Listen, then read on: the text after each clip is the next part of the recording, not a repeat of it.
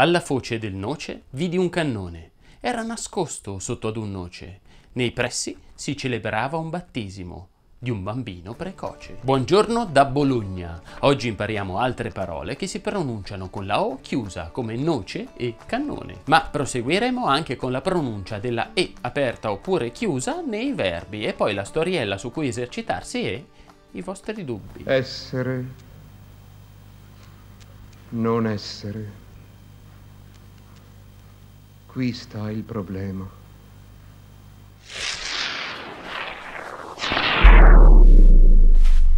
Per prima cosa vediamo qual è l'addizione della O nelle parole terminanti in noce come noce oppure precoce. Subito dopo le parole terminanti in ON più una vocale come ad esempio testimone oppure testimone. Infine per la corretta pronuncia della E nei verbi che non riesci a trovare in nessun altro video, oggi ti propongo il congiuntivo imperfetto. E poi la storia su cui puoi fare esercizio con le parole appena imparate si intitola Le condizioni della televisione.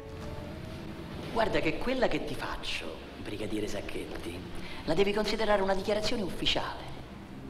Ci hai rotto i coglioni. Ci hai ufficialmente rotto i coglioni! Per non perderti nemmeno una pillola, iscriviti al canale e attiva la campanellina. Guarda che è importante la dizione, la pronuncia, la comunicazione ti serviranno nella vita e nel lavoro. Oppure vuoi parlare così? Ma certo, tesoro, poi tu hai una pelle così bella, porcellana. O chiusa si differenzia dalla O aperta per la sua pronuncia. La O chiusa si pronuncia O, la O aperta si pronuncia O. Come abbiamo visto la scorsa settimana, la O chiusa sulla tastiera del computer non c'è, ma tu la devi saper pronunciare. Non sei una tastiera, sei un essere umano, no?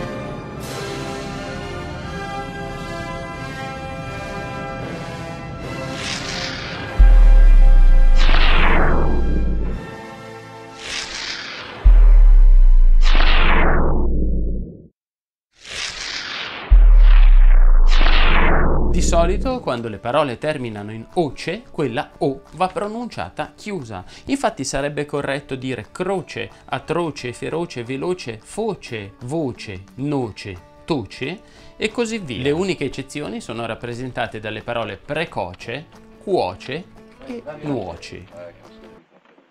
Alla prima occasione lo sistemerò per sempre. Quel figlio di una vecchia... Non provarci. È più veloce di un serpente. Il tuo stupido amico ha ragione. Se la parola termina in ona, one, oni e ono, quella O va pronunciata chiusa. Dovresti infatti dire trasmissione, cannone, mattone, cotone, bottone, perdono, sono, nazione, poltrona e così via. Qui invece le eccezioni sono testimone, zona, cono e trono. Mi aiutasti a conquistare il trono di spade, ora aiutami a mantenere il potere. Eccoci finalmente alla E nei verbi. Vatti a vedere anche le puntate precedenti perché puoi scoprire se si dice potremmo oppure potremmo. Oggi invece scopriremo questo modo, questo tempo e questa ricorrenza. Il congiuntivo imperfetto è meraviglioso perché tutte le presenti all'interno delle coniugazioni chiudono sempre, quindi in pratica non c'è nulla di cui ricordarsi. Ecco un esempio, prendiamo il verbo fare, ma potremmo prendere un verbo qualsiasi, tanto è sempre chiusa. Che io facessi, che tu facessi, che egli facesse, che noi facessimo, che voi faceste, che essi facessero. Ed ora un pensiero da me composto che poi ti trascrivo per darti modo di fare esercizio sulle parole che hai appena imparato. Ah, se si potesse. Se si potesse mettere finalmente la parola fine a quell'orribile trasmissione, quella della tizia con i capelli che sembrano di cotone e con quella voce atroce. Eppure tutta la nazione alle tre in punto preme il bottone sul televisore e, veloce come il vento, va a sedersi in poltrona. La conduttrice è feroce, ad alta o a bassa voce riesce a trasportarti come fosse un fiume in piena, il toce, ad esempio, verso la foce. E la foce non è un posto confortevole per te.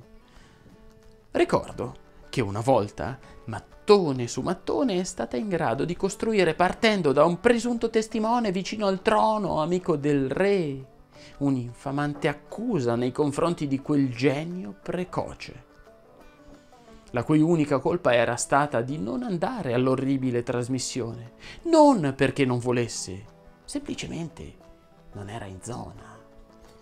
Ed ora, come colpi di cannone, altri seguaci della mediocrità che sfruttano il cono d'ombra della ragione si sono messi a fare trasmissioni. Sono persone che non meritano perdono. Quella gente nuoce al pensiero, ti cuoce il cervello con la sua finta allegria e la poca preparazione. Se mettesse più tempo nel curare la propria formazione, sarebbe molto meglio. Da parte mia, io mi metterò sotto questo noce, senza televisione, senza tensione. Forse non gioverà alla mia condizione, ma almeno non perderò il mio tempo guardando orribili trasmissioni. Come al solito carico la storiella sul sito web con la giusta formattazione. Lì troverai tutte le parole che hai imparato oggi grazie a questo video e potrai leggerla. Leggila più volte ad alta voce per esercitarti. Il link al sito è nel primo commento. Ecco alcune vostre richieste e le parole che seppure non comprese nelle regole bisogna sapere pronunciare. Ebbene, con la E aperta si dice preme e non preme. Tra l'altro il verbo premere fa parte di quelle parole sdrucciole che chiedono la E aperta. Ricordi questo video? Poi si dice posto e non pasto e sonno e non sanno. Sto facendo un po' di posto e che mi aspetto chi lo sa. A sinistra. Ce l'ho quasi fatta. Sono quasi disintossicato completamente dal trash di The Lady. Per la terza settimana di fila vado a prendere una parola sul dizionario in alto A sinistra. e ti leggo il suo significato più che altro la dizione giusta.